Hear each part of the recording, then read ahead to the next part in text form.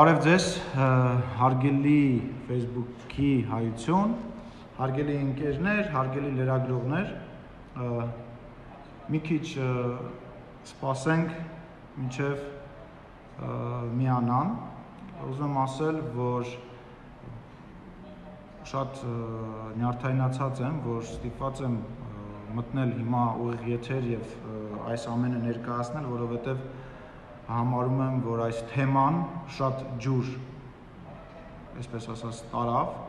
եւ ելնելով այն բանից, որ ես հաշվետու եմ իմ ընտրողների արչեւ, հաշվետու եմ Հայաստանի Հանրապետության ժողովրդի արչեւ, կարևոր համարեցի սրա մասին խոսել։ Արդեն երկար ժամանակ է խոսվում է նրա մասին, որ ես իբր ապօրինի հարստացել եմ որ ես ձեռք եմ բերել կամ նվեր եմ ստացել մեքենա եւ այդ թեման շահարկվում է յուրաքանչյուր դեպքում յուրաքանչյուր իմ հետ կապված հայտարարությունով։ Ես հասկանում եմ, որ իմ խաչը ծանր է, այսպես ասած, որովհետեւ ես արձագանքում եմ քաղաքական մեր թիմի գրեթե բոլոր հարցերի շուրջ եւ հաճախակի հարվածը հենց ինձ վրա է գալիս, բայց ես գիտեմ ես ինչի համար եմ անում Ես իմ ընկերներին, իմ գործընկերներին պատրաստ եմ պաշտպանել, ինչպես նաև այն սկզբունքները, բայց վերադառնամ հիմնականին։ Վերջին ամենա, այսպես ասած, լուրջ մեղադրանքը դա իրազեկ քաղաքացի միավորման կողմից ներկայացված FIT AM կայք կա, որը նախկինում SUT AM է կոչվել։ Ես համարում եմ, որ ավելի լավ կլինի անունը այտենցել մնար SUT AM լինել եւ Դանիել Իոնիսյանի հայտարարությունն էր, որը չմեջբերեմ ընդհանուր առմամբ ընդհանրացնելով ասեմ, նա ինձ մեղադրում էր 7 միլիոն դրամ ապօրինի հարստանալու մեջ։ Ես հասկանում եմ, որ ու ասում էր, որ դա էապես փոխվել է եւ այլը եւ ես չեմ կարողացել բացատրել։ Նախ եւ առաջ ասեմ, որ իհարկե սուտ է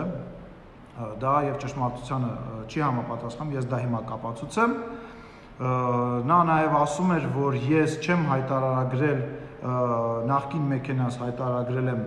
նոր մեքենան, դրան նույնպես կանրադառնամ եւ նշում էր, որ որևիցե կերպ իմ վարկային միջոցները չի փոխվել եւ դա որևիցե ձևով չի երևում եւ ես չեմ կարողացել բացատրել չի երբ որ մարդը չի կարողանում բացատրել էապես հարստանալը, այդ պարագայում դա ապօրինի հարստություն, հարստանալը։ Եվ այսպես, նախ եւ առաջ ամեն ինչ այնպես է, ինչպես ես միշտ ասել եմ ես վաճառել եմ իմ մեքենան, վաճառել եմ Mitsubishi մեքենաս, որը որ վաճառել եմ 11500 դոլարին համարժեք դրամով կամ մոտավորապես տենց մի բան, որը նաև իրենք են ֆիքսել շոկայական գինը եւ գնել եմ նոր մեքենա 25500-ի դոլարին համարժեք դրամով այդ ժամանակ իմ միջոցները չեն բավականացրել եւ ես դիմել եմ այն բանկին, որտեղ ես տարիներ շարունակ ունեցել եմ հաշիվ եւ խնդրել եմ, որ ինձ վարկային գիծ բացեն։ Overdraft, Դանիել, overdraft։ Բացել են վարկային գիծ։ Այդ վարկային գծի բացումը երևում է ակրա համակարգում։ Ինչպես նաեւ, ահա տեղեկանքը։ Առ այն, որ ես հա կտեղադրեմ, առ այն, որ քաղաքացի Ալեն Ռոբերտի Սիմոնյանը նույնականացման քարտ, քարտի համարը.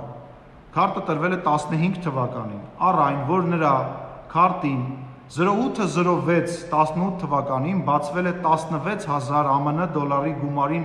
վարկային գիծ, որից 0806-18-ին կանխիկացվել է 16000 ԱՄՆ դոլար գումարը։ Հեսա այդ թուղթը, որը որ դուք ման եք գալիս եւ չէիք գտնում։ Ես գնել եմ իմ մեքենան վարկային գիծ բացելով եւ իմ նախորդ մեքենայից ձևավորված գումարով։ Ընդհանրապես պետք էր ինձ հետ ինձ զանգահարել եւ հարցնել. Արդյոք կարող եմ ես ինչ որ ձևով դա բացատրել։ Ես շատ հանգիստ սա կբացատրեի եւ կցուցադրեի։ Եվ դուք չէիք հայտնվի ծիծաղելի իրավիճակում, երբ դոշը ծեծելով տարբեր կայքերում լուրջ դեմքի արտահայտությամբ պատմում եք, թե ինչպես եմ ես ապօրինի 7 միլիոն դրամով մեկ ամսվա մեջ հանրապետականներով լցված պարլամենտում հարստացել։ Ամոթ եւ անընդունելի է։ Շատ ու շատ հիմա փորձելու է ինչ-որ բաներ ասել ինչ-որ ձևով, բայց փաստը մնում է փաստ։ Ու այսուհետ որևիցե մեկը չհամարցակվի թույլ տա իրեն ինձ վարկաբեկելով, ինձ իմ ինձ անուն կպցնելով, չգիտեմ ինչ որ բաներ խոսալով, ասի որ ինչ որ մեկ ինձ մեքենա է նվիրել կամ ինչ որ մեկ ինձ համար մեքենա է առել։ Հայաստանի Հանրապետությունում որևիցե տեղ աշխարհում տենց մարդ չկա, որ կարա ինձ համար բան առնի, նվեր տա նման ձևով։ Ես եղել եմ մշտապես ապահովված ընտանիքից, մշտապես մեքենա եմ ունեցել, մշտապես իմ վարկը, իմ մաքրությունը, իմ པարզությունը, իմ անկեղծությունը եղել է իմ այցեք հարտը, չփորձեք նման բաներ անել։ Ինձ մոտ շատ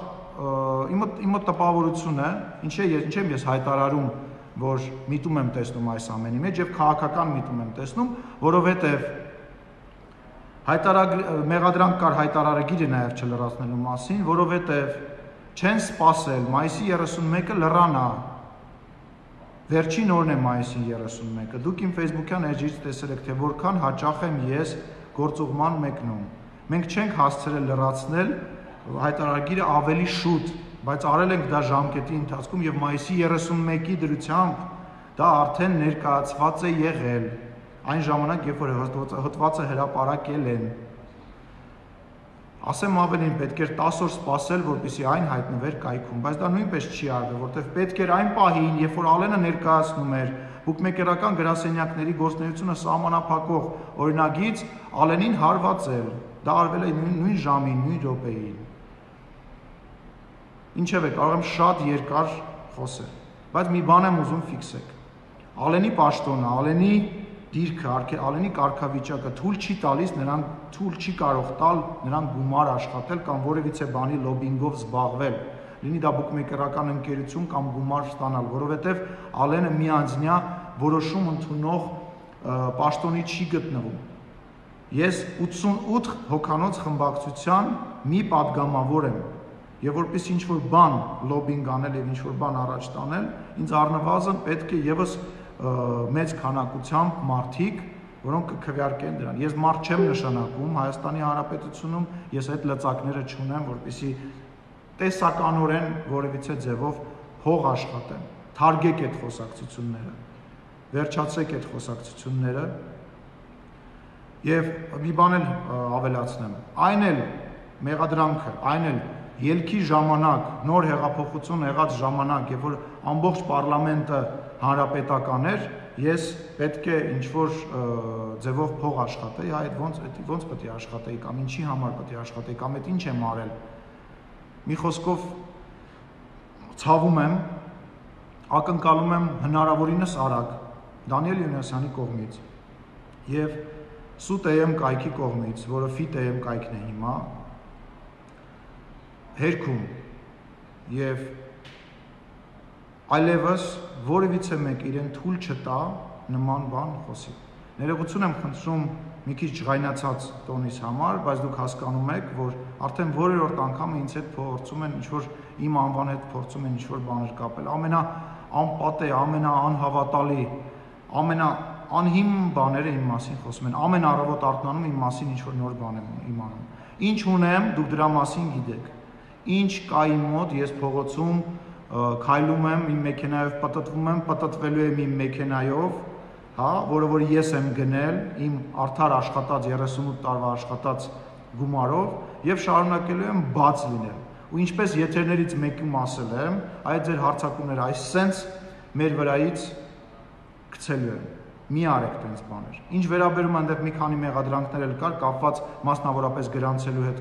միգուցե այդտեղ ես վերիպակ եմ թույլ տվել, ես դա պետք է արդարացիորեն ընդունեմ, որովհետև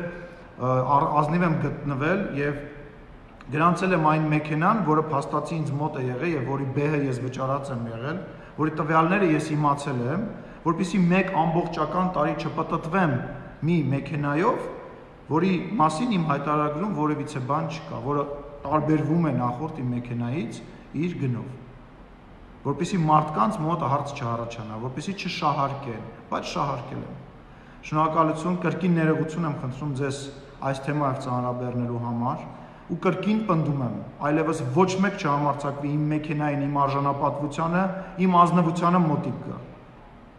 Շնորհակալություն, լավ եղեք, սպասում եմ, անհամբեր սպասում եմ հերկմանը, անհամբեր սպասում եմ հրաապարակային ներողությունների, եթե այդքան բան կա մարդկանց մեջ, ազնվություն կա եւ միտում իրոք չկա։ Եթե ինչ որ մանրամասներ, ինչ որ հարցեր կլինեն, այլևս ինձ դա չի հետաքրքրում, չեմ կարծում, որ դրան այլևս անդրադառնալու կարիք կա։ Շնորհակալություն։